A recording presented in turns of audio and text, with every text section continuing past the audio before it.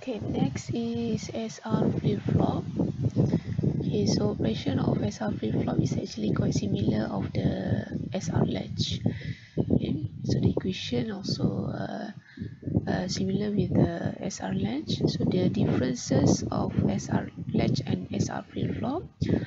So latch output which is SR latch okay react immediately to any output changes okay so if you remember uh, your q value will change immediately. Okay when s or r are changed.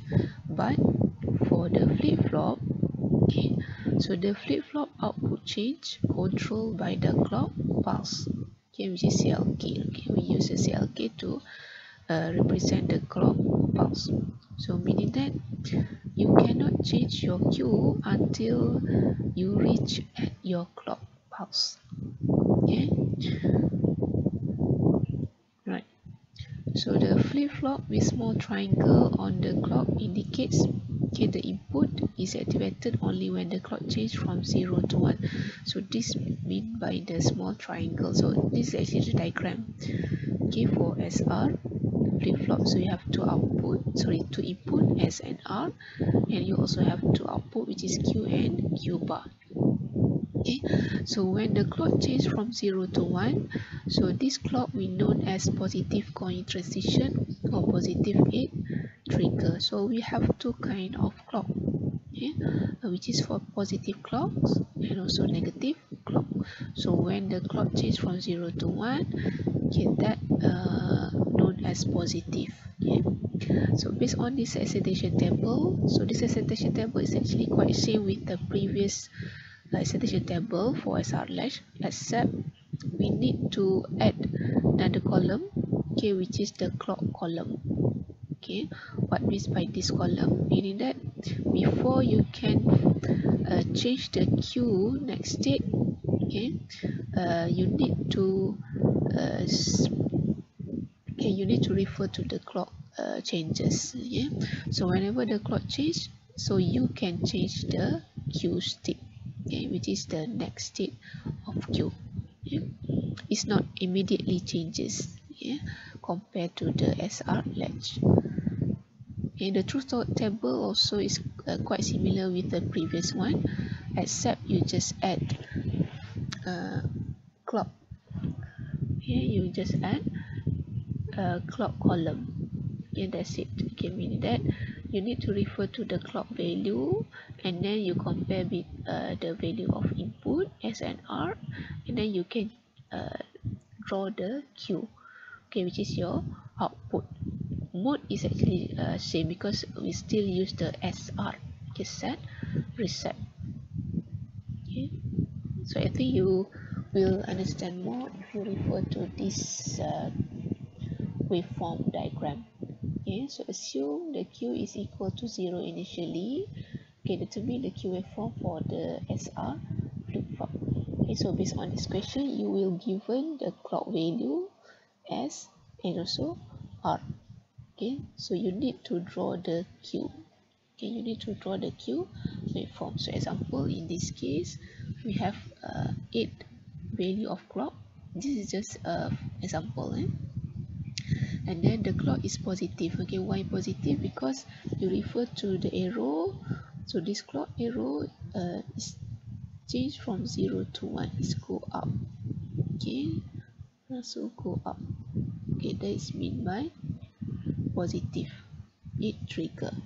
Okay so if you refer to the previous uh, latch ASR latch the straight line okay you need to draw based on the changes of your SNR right?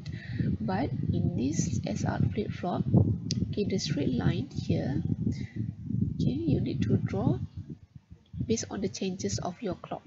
Okay every time your clock change so you need to draw this straight line. Okay so when your clock change from 0 to 1 you just follow the arrow. Okay so uh, this straight line is actually uh, tell you uh, you can change your q okay you can change your q it's not immediately. Okay uh, based on this one okay the last sentence. So output q change state when the clock is changed from 0 to 1 okay so the q only can change when your clock change from 0 to 1 okay so example for the first value of q so this is q equal to 0 initially okay so q equal to 0 initially. Okay so you just draw q equal to 0 until you reach at the first clock. So at this first clock a clock change from 0 to 1 right? So what will happen for the next state? Okay you need to compare between the the next value of s and r. Okay so after this clock so the the s value is 0 so this is 0 and then your r value also 0 so what will happen? So 0 0 meaning that you carry the mode whole right?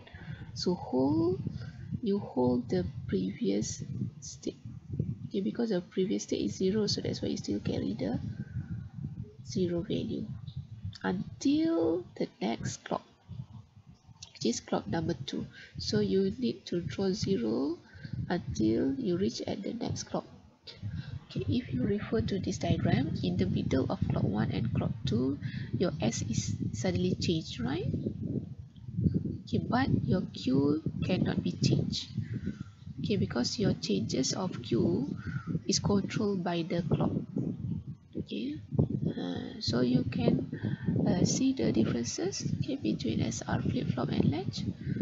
Okay, SR latch immediately. Okay whenever your S or R change. Your Q also change but for flip-flop the changes of Q must be controlled by the clock. Okay?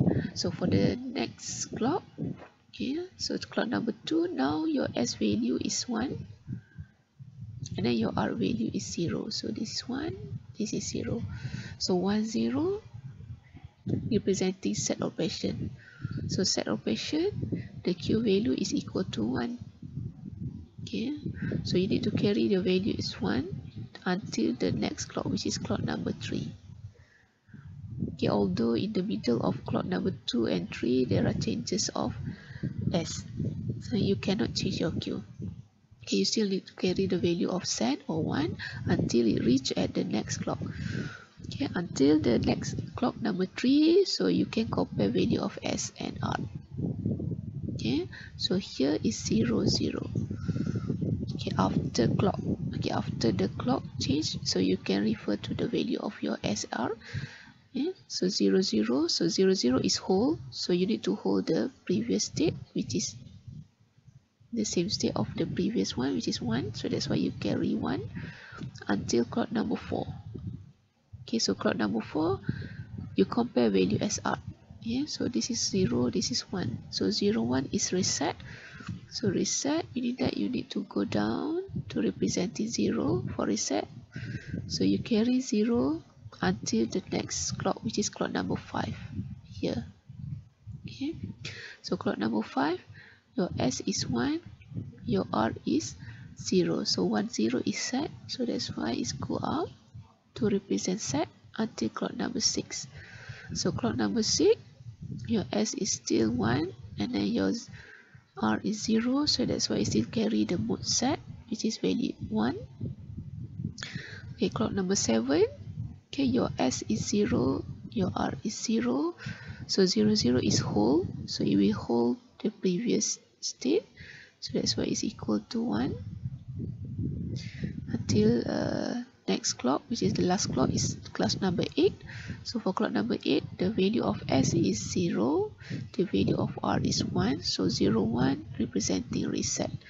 So you'll go sorry you will go down. Okay? So this is how you draw the q waveform for sr flip-flop okay you must remember uh, the output q change okay when the clock change from 0 to 1 it's not immediately change okay whenever sr change okay? So it must be changed when the clock is changed. Okay from 0 to 1 or follow the positive transition. So this is example for SR flip-flop. So I hope you can uh, see the differences between SR latch and SR flip-flop